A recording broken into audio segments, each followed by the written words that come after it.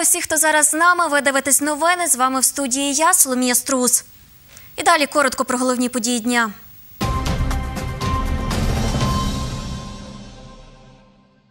У Великій Березовиці відбувається панахида за чотирирічним хлопчиком, якого вчора знайшли мертвим у річці Гніздечна біля Смиківців. Приїхали всі і міліція, МЧСники, і ми так розбили по кварталах, по вулицях і почали проходити і біля річки. От, і люди ходили дуже темно з фонариками. Звалище тваринних відходів між селами Кип'ячка та Велика Березовиця товариство Біобластер має ліквідувати до 11 березня. Виявили перевищення по чотирьох забруднюючих речовинах. Орієнтовна сума збитків за забруднення 400 метрів квадратних, десь ще буде біля 5 тисяч гривень. У Тернополі стартували спортивно-патріотичні змагання Кубок Шухевича.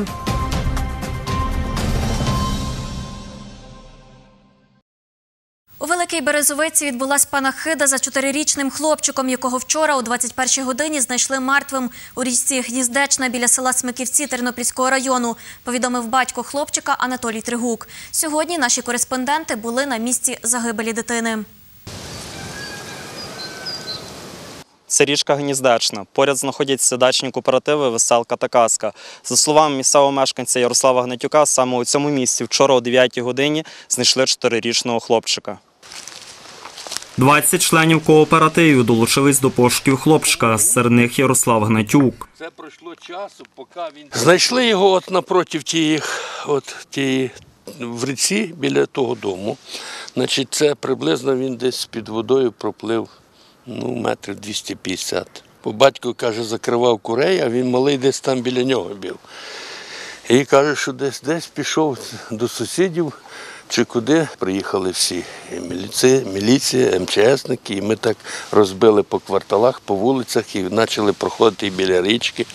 От, і люди ходили теж темно з фонариками. Дев'ять, півдесятої десь там витягнули його, прибігли всі туди, і там йому робили реанімацію. Десь минут 30-40, ну нічого не, не, не помогло. За будинок батьків хлопчика. Надавати коментарів вони відмовились. Богдан Буденчук, Андрій Бодак. Новини. Нагадаю, коли медики приїхали на виклик, чотирирічний хлопчик, який зник вчора о 19-й годині на території садового товариства Пролісок, що біля Смиківців Тернопільського району, був мертвим. Про це телефоном повідомив лікар, який перебував на місці Володимир Тройняк. За його словами, лікарі зробили кардіографію, яка підтвердила смерть дитини. Також додав, що в хлопчика діагностували переохолодження. 10 хвилин реанімацію дитині робили рятувальники і 30 хвилин працівники швидкої допомоги. До пошуків хлопчика залучали 32 рятувальників і 35 працівників поліції, повідомила речник пожежно-рятувальної служби області Ірина Крупа. За цією справою відкрито кримінальне провадження за статтею 115 Кримінального кодексу України з приміткою нещасний випадок, повідомив речник Нацполіції області Сергій Крета.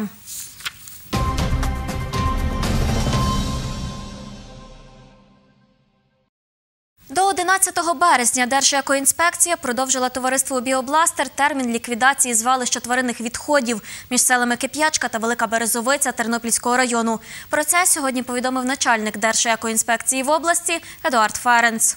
До нас листом звернулося товариство Біобластер з проханням про перенесення терміну виконання припису щодо ліквідації забруднення земельної ділянки і недопущення спалення відходів у зв'язку з тим, що вони не встигають в даний період зробити такі види робіт. Термін виконання припису ми їм продовжили фактично сьогодні четверте, ще на тиждень часу до 11 березня. Тобто 11 березня у нас вже починається робочий тиждень. Ми вже з понеділка можемо їхати і перевіряти виконання цього припису і притягнути у випадку, якщо вони не зроблять до адміністративної відповідальності. На даний час нами вже зроблено нашою лабораторією аналізи проб ґрунтів, ті, що ми відбирали раніше.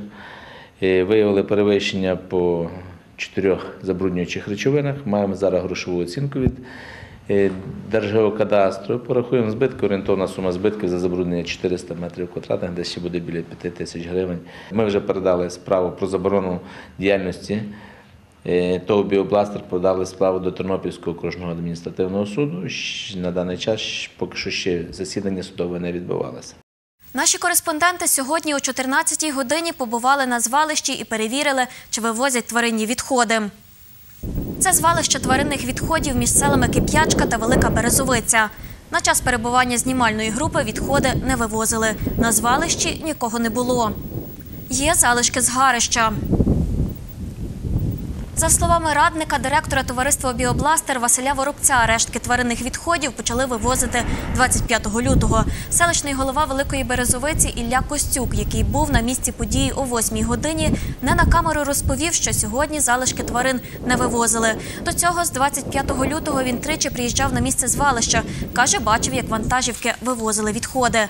12 лютого, за словами начальника Держекоінспекції області Едуарда Ференца, в екоінспекції зобов'язали товариство Біобластер ліквідувати звалище тваринних відходів між селами Кип'ячка та Велика Березовиця до 1 березня. 14 лютого у Держпродспоживслужбі області винесли припис, згідно з яким товариство Біобластер мало ліквідувати звалище до 4 березня. Також тоді на директора товариства наклали штраф у розмірі 104 тисячі 325 гривень, повідомила прес-секретар обласного управління Держпродспоживслужби Наталія Грисько.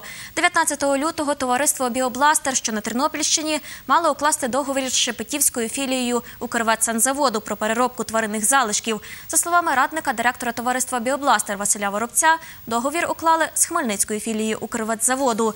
Дати підписання цієї угоди Василь Воробець не пам'ятає. Так він сказав нашим кореспондентам. Також наші кореспонденти телефонували до Хмельницької філії Укрветсанзаводу за номером, вказаним на офіційному сайті підприємства Укрветсанзавод. Автовідповідач повідомив, що номер змінено. Ми й надалі будемо слідкувати за цією темою. Слідкуйте за оновленнями на нашій сторінці UA Тернопіль та у соцмережі Фейсбук.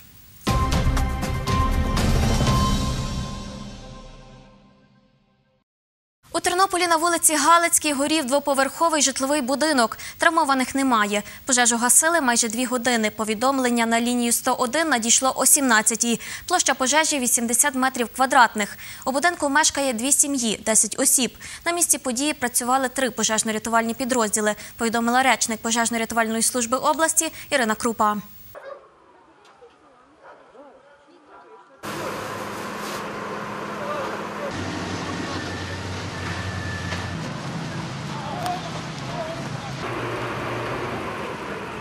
Почув запах горілого, виглянув через те вікно.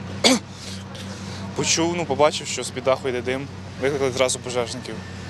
Через годину приїхали з драбинами, а до того поливали дах. Всередині горить, а вони зверху поливають. Вони через 40 хвилин до них дійшло, що треба все-таки на огонь ляти, а не на дах. І скоріше всього за все могло статися, отут йшла радіоточка, радіоточка. Скоріше всього, що ті дроти могли обірватися.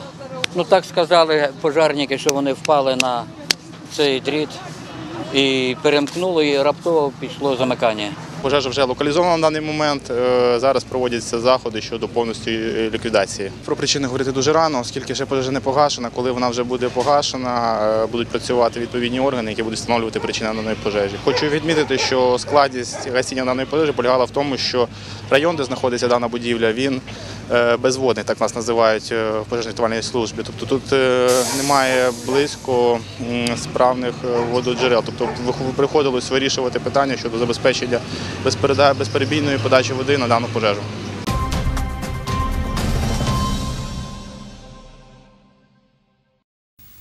Поліцейські відкрили кримінальне провадження за заявою жительки села Гніздичне, яка повідомила, що тернополянин травмував її під час конфлікту у місцевому храмі 3 березня. Про це повідомив речник Нацполіції області Сергій Крета. За його словами, її госпіталізували до Тернопільської університетської лікарні із забоями нижньої щелепи. Головний лікар медзакладу нам сказав, що зараз жінка у лікарні не перебуває. Ми намагаємося зв'язатися із травмованою. Як розповів нам очевидець події, керівник Тернопільського обласного осередку правого сектора Назар Сарабун, вчора в селі Гніздичне з Бараського району після богослужіння, яке розпочалось о 10-й годині, у храмі стався конфлікт між парафіянами Православної церкви України та Російської церкви. Це фото і відео зроблені після вчорашнього богослужіння. Парафіяни російської парафіяни російської церкви, каже Назар Сарабун, намагались захопити храм після того, як служба Божа завершилася, і священник Православної церкви України хотів зачинити храм.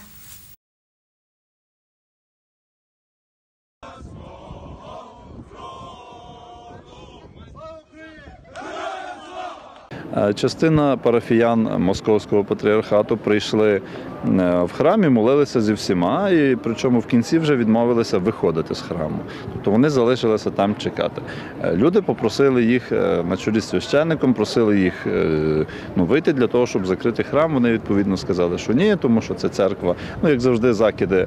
Е, І там далі пішло і про Росію, і про те, що ми без Росії там ніде не були, і так далі. Тобто стандартні їхні такі репліки. А ззовні е, священник ще з якимось, тобто додатково людьми, і там я бачу, ну і знову ж таки з своїм сином, я вже так зрозумів, що це його син. А вони пробували просто забігти в церкву через. Через е, парафіян е, Української православної церкви, які в принципі дуже гарно згуртувалися і стали перед, перед входом і не, не, не пускали їх. За словами Назара Сарабуна, він разом з іншими членами правого сектора прибув на богослужіння на запрошення парафіян Православної церкви України. Коли стався конфлікт, представники правого сектора намагалися заспокоїти людей. Архієпископ Тернопільський і Кременецький Православної церкви України Нестор каже, відправляти богослужіння у храмі Гніздичного зараз має право священник, якому це доручила громада Православної церкви України. Про це він розповів нам телефоном, бо повідомив, що немає можливості зустрітись і дати коментар на камеру. Домовленість про почергові богослужіння на Йорданські свята на 19-20 січня. Це єдина, яка була от офіційно підписана двома сторонами домовленість. Коли ця громада офіційно зареєструється як громада Російської православної церкви в Україні, буде мати відповідну документацію, вона може звертатися чи до громади парафії села Гніздиць про те, щоб домовлятися про почерговість, Ми поспілкувались з попереднім настоятелем храму села Гніздичне Степаном Баланом.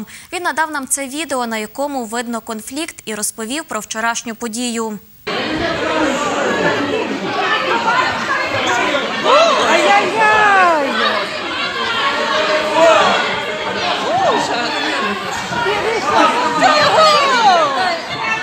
Чого ти пав?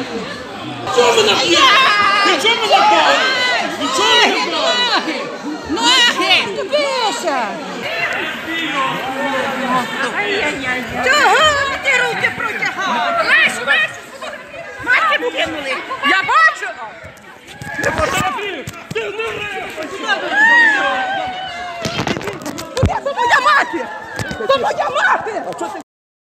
Вчора, 3 березня, в чергове відбулося грубе порушення прав людини. Знову відбулося побиття людей, віруючих прихожан громади Української православної церкви. Знову було зірвано богослужіння. І знову порушені всі домовленості, але завершилося тим, що просто людей брутально били, викидали і священник їхній Іван Лесик, і прихожани новоутвореної громади ПЦУ. Там всередині була і поліція, і представники правого сектору там. За словами отця Стефана Балана, від 18 січня парафіяни двох конфесій у селі Гніздичне домовились про почергове богослужіння. Це вже другий конфлікт між парафіянами Православної церкви України і Російської церкви. Перший стався 3 лютого, каже речник Нацполіції області Сергій Крета. Причиною непорозуміння тоді було неузгодження часу проведення почергових богослужінь двома конфесіями. 4 лютого вісім парафіян Української православної церкви Московського патріархату Свято-Преображенського храму села Гніздичне з Барацького району прийшли до голови Тернопільської облдержадміністрації Степана Барне, щоб їм дозволили почергово проводити богослужіння у храмі. Повідомила жителька Гніздичного Марія Привроцька. Тоді до них вийшов начальник управління з питань внутрішньої політики, релігій та національностей облдержадміністрації Ігор Кульчицький і повідомив, що представники конфесій мають домовитись про проведення почергових богослужінь самостійно. 13 січня під час зборів 70% жителів, жителів села Гніздичне, 520 осіб проголосували за перехід до Православної церкви України. Указ про приєднання парафії церкви Преображення Господнього села Гніздичне з Барацького району до Православної церкви України 28 січня підписав архієпископ Тернопільський і Кременецький Православної церкви України Нестор.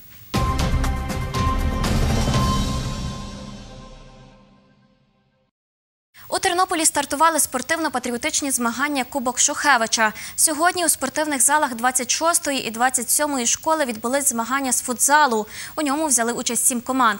Це представники молодіжних громадських та студентських організацій. Завершився турнір між командами Тернопільського національного педагогічного університету та молодіжного націоналістичного конгресу. Команда ТНПУ перемогла з рахунком 4-1.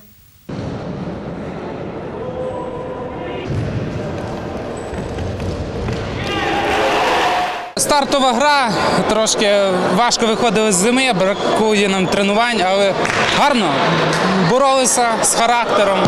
На жаль, програли, але наступні ігри, надіємось, ми виправимося.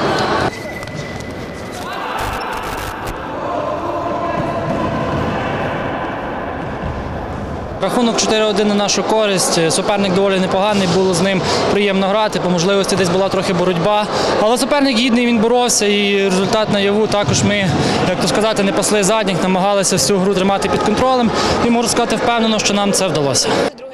Організатор Кубку Шухевича 2019 Леся Голик розповіла, змагання з футзалу розділили на два дні. Також впродовж тижня учасники цьогорічного Кубку Шухевича змагатимуться ще й у інших дисциплінах.